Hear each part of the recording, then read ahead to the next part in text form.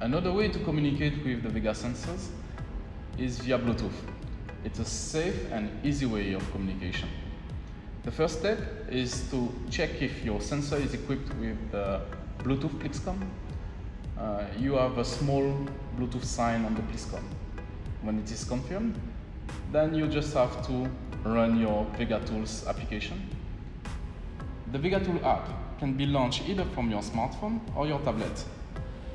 To do so, you just have to click on Start and Diagnosis to run the search.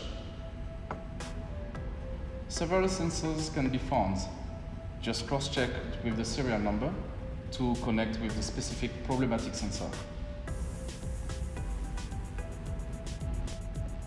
And then all the functions of Pactware will be also available in the, in the VegaTool app. If you also have the TeamViewer app installed in your smartphone or tablet, we can then access remotely your sensor and proceed with the troubleshooting.